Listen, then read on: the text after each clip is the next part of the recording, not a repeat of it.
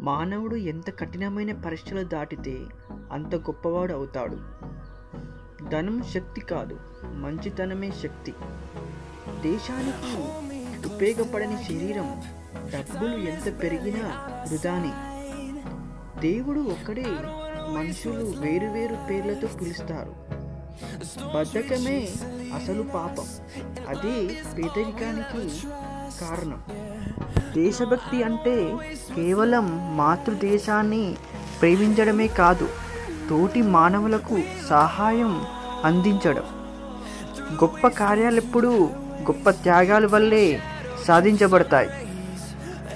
పరిస్థితులు మనిషి అదుపులో ఉండవు కానీ అతని ప్రవర్తన అతని అధీన ఆధీనంలోనే ఉంటుంది.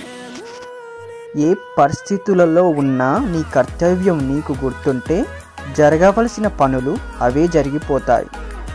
ధీరులు సత్య మార్గాన్ని ఎప్పుడూ తప్పరు.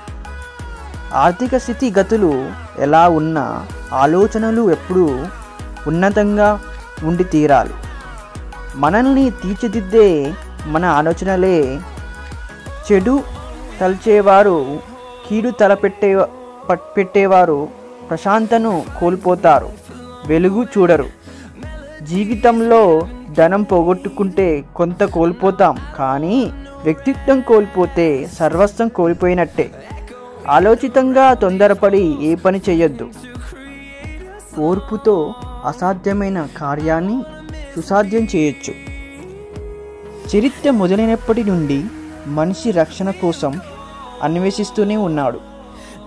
ఏ గొప్ప కార్యాన్ని సాధించాలన్నా పవిత్ర సహనం పట్టుదల ప్రేమ അവസരം